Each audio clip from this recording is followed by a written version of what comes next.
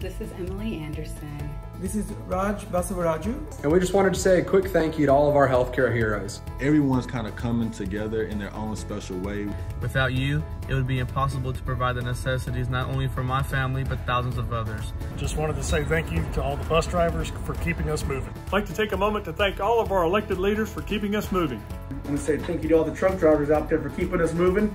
Keep on trucking and go Stros, baby.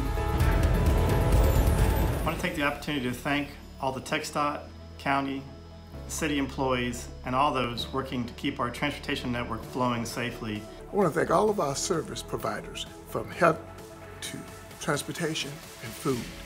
You have kept us moving. And I feel thankful for all the bike mechanics who are keeping Houston rolling through this very strange time. Thank you to our frontline workers for everything you're doing to take care of us and to keep us moving forward. This is the way you keep Houston and Texas going.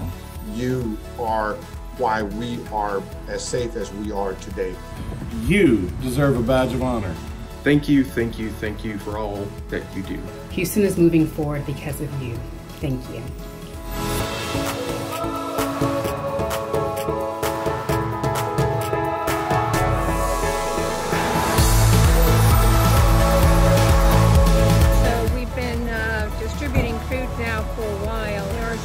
Lot of need.